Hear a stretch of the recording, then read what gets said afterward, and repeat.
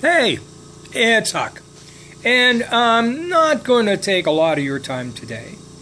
I know it'd be real easy for me to kind of ramble on on, you know, two of the main topics um, that uh, keep flying around the news.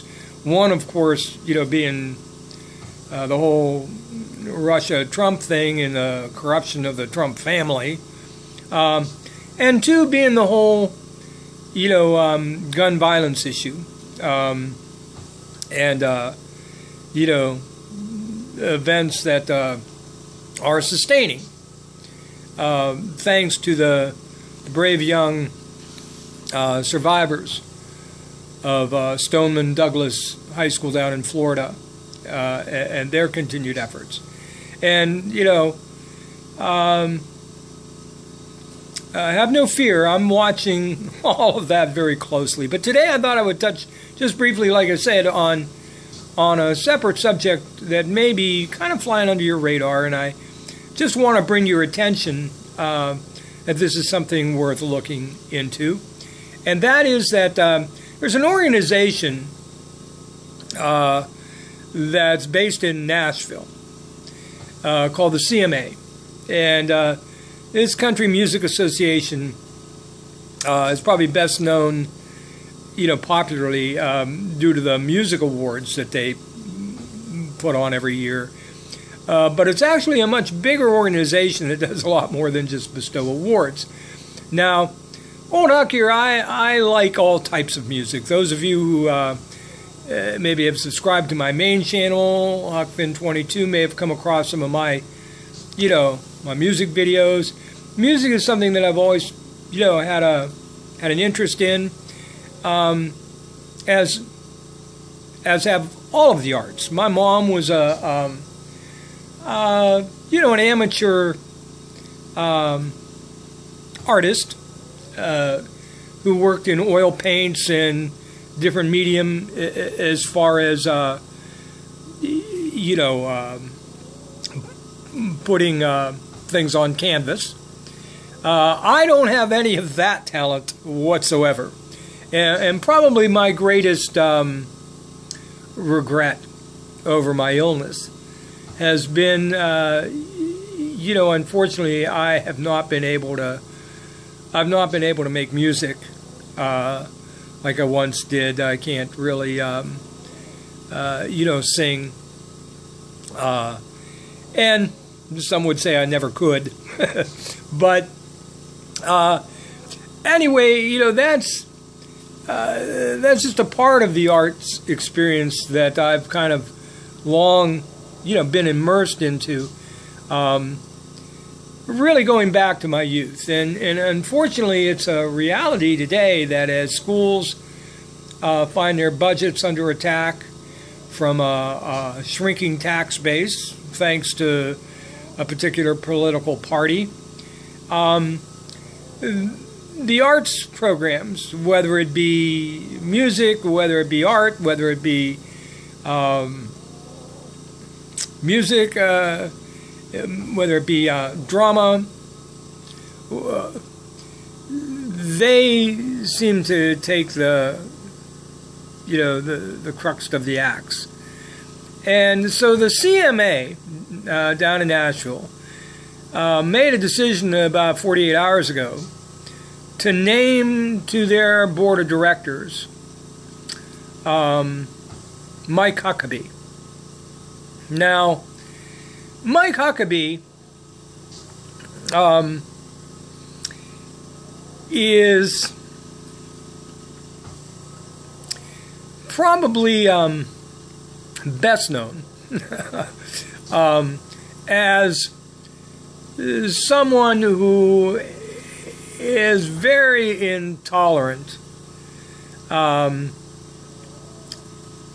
uh, particularly when it comes to um, uh, gender issues. As many of you will recall, he um, uh, kind of showboated his way onto the stage um, when Kim Davis in uh, Kentucky was uh, refusing to hand out uh, gay uh, marriage certificates um, as uh, part of her duty as a um, county clerk.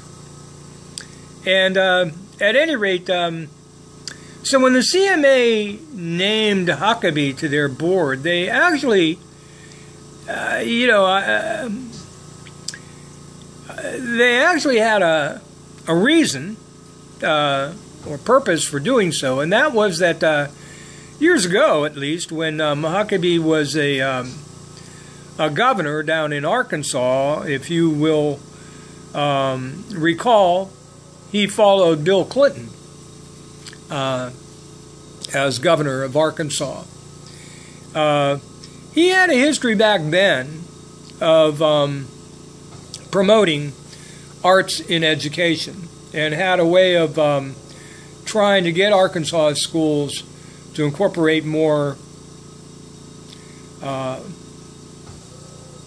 art programs, whether it be music or whether it be, uh, you know, whatever, uh, into the schools. And I guess, you know, this is what the, the CMA was thinking when they named him to the, the board as they were trying to get, um, you know, some partners on board that um, might help sway some of the uh, uh, some of the states like uh, like Kentucky to implement more arts programs in education. However, uh, within 24 hours of naming Huckabee to their board, he was basically forced to resign, or at least he um, he did so. And uh, the reason was because so many other members of the CMA and other movers and shakers down in Nashville um, uh, were absolutely repulsed uh, by the news that Huckabee uh, had suddenly joined this organization. And, and several uh, several big players in the Nashville uh, market, uh, including um, some of the biggest uh, uh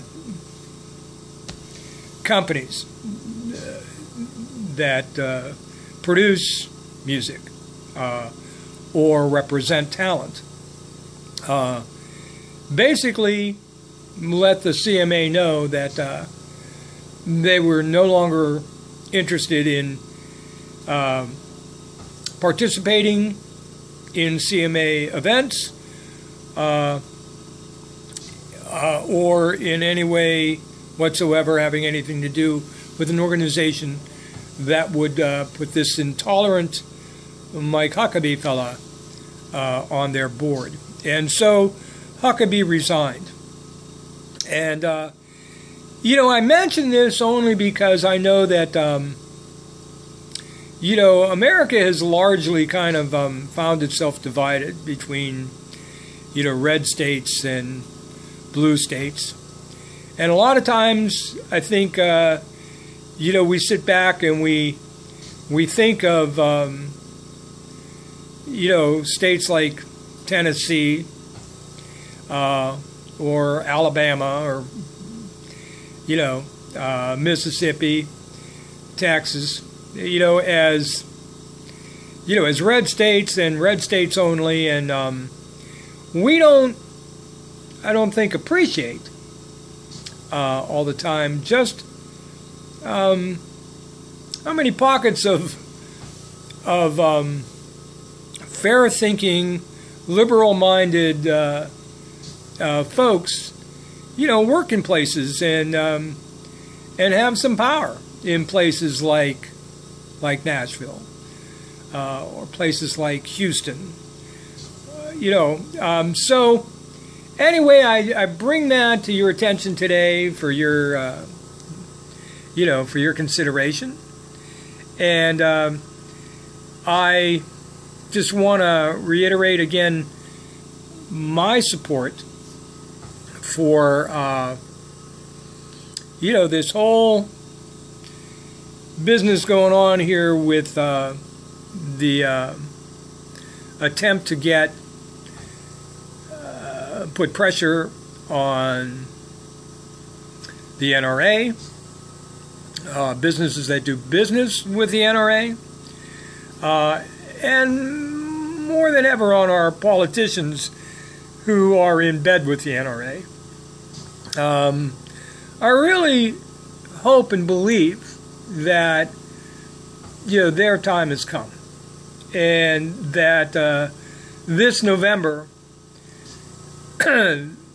with all of the other momentum um, that is uh, bringing about what uh, many expect to be a blue wave, is only going to be heightened by the fact that uh, we are getting, you know, such a great response from many young people who really have uh, taken this whole gun issue very personally for obvious reasons.